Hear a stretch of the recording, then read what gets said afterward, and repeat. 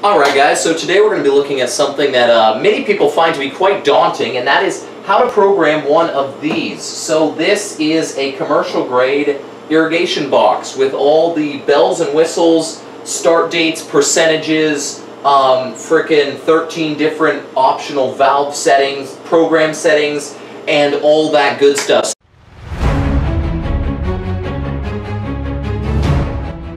So today we're just going to be having a basic look at how to run this and do basic programs on this and basically how to set it up for your uh, for your lawn or whatever you got going on. As always, if you want to uh, purchase this particular uh, system, these are really great systems. Um, if you want to purchase this particular system, check in the description below. I'm going to have a link to where you can buy this system and also similar systems like it um, that are going to have the same basic programming and the same basic features. So check that out and check out my channel and let's get started. Alright guys, so I'm going to try to hold this as steadily as I can. So what we have here is the control panel on this particular Rainbird. So this control panel basically is how you program it and how you run things. So the first and most obvious is auto. So auto is basically your on position. When it's in auto, it means that all the programs that you've set up on this box are going to run. So it's going to give you, over here on the LCD, it's going to give you the day and the time, and it's basically going to be the operating setting for the box. Next over is going to be the off position. Off is obviously what it is, it's off. So everything's off. Nothing that is connected to this box will run when it's in the off position. The next setting is going to be the seasonal adjust setting. So it's usually got a little picture of a percentage, maybe with a raindrop, something like that. So seasonal adjust or percentage is going to adjust the amount of water that the system puts out while it runs. So what it'll basically do is at 100% you're going to be putting out the normal amount of water and so it'll run for a certain amount of time. Now this is going to be a little confusing but just bear with me. The percentage is going to automatically adjust the time it runs to put out a certain amount of the percent of the normal amount of water. So let's say normally you put out 10 gallons at 100%. Well 60% is going to then put 6 gallons out of the system. So what you want to do is if it's raining or if it's been moist out and wet and you don't need as much water going out, you'll adjust your seasonal adjust to whatever you want. So right now we're at 60% because um, it's been a little bit moist and we don't want to overwater some of our systems or some of our uh, irrigation systems on this particular box. So that's why we have it to 60 instead of um, instead of to 100. So actually I'm going to adjust this up because it's getting warmer. So I'm going to use these buttons here to adjust it up to 80%. So now it's putting out 80% of its standard amount of water. And that's it. That's how you set that. So next is the test all valve setting. So if I switch this to test all valves, what it will do is it will run all valves through at a certain amount of time. Now, I'm not going to do that right now because we're actually doing some work on the irrigation system um, outside, so it would screw the guys over if I turned it to test all valves. However, the test all valve setting is simply going to run the entire program through all systems for a certain amount of time and you can set the time on the test all valves so you can have it test the valves for five minutes for an hour for however long you want. Um, the next over is the current date. So what the current date setting is simply allows you to adjust the time and day that it is. So I'm doing this on the 15th of May in 2018. So that is going to be the current date. And that allows the, um, the clock or the program in the clock to um, keep up with the days, the times, and the seasons. Current time, um, like it seems, that allows you to set the time just like any other clock.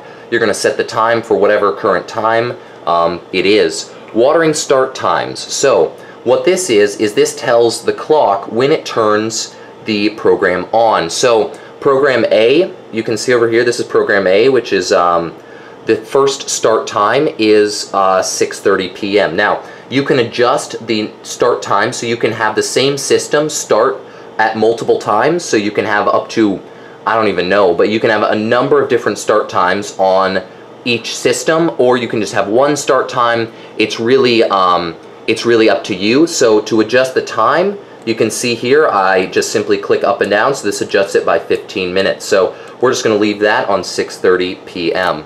Next over are the days. So the dial here, so you've got a different button for each day of the week. So what we're gonna do right now is, because I want Mondays and Tuesdays off, because those are the days we work on the system, so I'm just simply going to turn it to Monday on the dial, then I'm gonna click the, the little buttons here, up or down, and that turns it off, up turns it back on, so I'm gonna turn Monday off, I'm gonna turn this dial to Tuesday, it brings me over to Tuesday here, and I'm going to turn that off as well. But then all the rest of the days, we click through, you can see Wednesday's on, Thursday's on, Friday, Saturday, all the rest of the days are on, which is exactly what I want. Down here are the valve runtimes. So this clock can handle up to 13 valves. Um, some of these can handle way more. Some of them will have like up to 17, 24, really any number depending on the make of the clock and really what it's capable of and the year that it was made. This is an older one,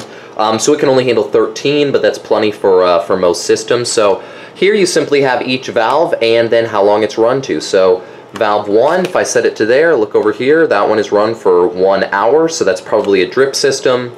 Number 2 is only 6 minutes, that's probably like some large rotors uh, for lawns, something like that. Number three, six minutes, and on up the line. So once you hit a valve with zero time on it, that usually means that there's nothing connected to that valve or that that system um, or that that valve is shut off for some reason. Um, and that again is up to whoever's programming it. So here we got valve 4 has no time on it, but valve 5 has time on it, which usually means that for some reason we've decided to take all the time off of valve 4. It probably means that we're working on something over there or that we just don't want that area to be any wetter than it already is. So next, um, once you have that all set up, you can actually set that as an entire program. So everything I just did, you would program and you would set that as program A. So you can see over here, um, we've got different programs. So this one can handle up to three programs, so A, B, and C. So what this looks like is when I've got it on auto here, so that's run, so it's on its normal setting, I can actually switch between programs. So here I've switched to program B, and then in program B, you actually go through and you program all these settings again, and you can set it for like, so say you only want to water on Monday, Wednesday, and Friday, um, on in the summer, but then you want to program on Tuesday, Wednesday, Thursday. During the winter, what you would do is you'd set up program A for the summer, and that would have all the settings for Monday, Wednesday, Friday. Then you'd set up program B for the summer or for the winter or whatever season you want, and then that would have all the settings for that season. And this one can handle up to three programs, so Right now, we're just running one program um, for one setting, but, um, but we could, if we wanted to, run three completely separate programs on here. So that's it. Um, second, uh, finally, we have a sensor here. Um, we've bypassed the sensor because that's not really hooked up to anything, and you're probably not going to need to use that. Um, that's basically if you want a sensor for um, if you want to put a precipitation sensor or a moisture sensor out in your irrigation system, whatever you're, uh, whatever you're watering, then that would uh, basically tell the clock that it was too wet to water and kind of do that automatically. But that gets pretty complicated, and that's not usually something most people do. So finally, um, if you want to start a program manually, what you're going to do is you're going to simply hit manual start right here, and that will start one of the systems here. So right now I have started uh, program A with uh, valve number one, and that will start it automatically. Now I'm turning that off because I don't actually want to turn that, that valve on right now. But if I did want to test it, what I do is I go to auto, and then I would go click here to manual start, and then I would simply click through. So there's one, two, three, and each time it clicks to that new one, it is going to start that system and then just run that system until you turn it off. So like what I would do if I were testing systems or checking sprinkler heads or drip systems, I would turn it to auto, I would hit manual advance, it's going to start pro, uh, valve 1 and I would go outside and I would check on that and make sure everything is running correctly. Finally, over here in the door, they um, they have a place where it has basic instructions for your um, for your system. So it's got instructions here, but frankly, those are they're very quite they're really confusing to try to understand without somebody telling you what uh, what's what, and frankly, most of them are in different languages anyway. Um, what we always usually try to do is put a schematic here in the door that tells you where each one or where each valve runs, especially if the valve is down in a building like this one is. Um, so see, I've got a valve one runs drip in front of the Morgan building, valve two uh, on down rotors in front of, you know, these are just where they run and the buildings they're in front of. So that's about it. All right, guys, well, there you go. That is how you run a basic Rainbird irrigation clock. Um, hopefully you found this helpful. Hopefully this helps you with your uh, irrigation projects or if you're on a new job and you're trying to figure out how to run these irrigation systems. Um, hopefully this helps you out. Um, if you got any questions about it, leave those in the comments below. Um, I'll try to get those answered. If you want to buy this clock or one similar to it, check in the description below. I'm going to have a link to where, uh, where you can purchase a system like this or one very similar. Um, yeah, that's about it. Hopefully this helped you guys out. Have a great day.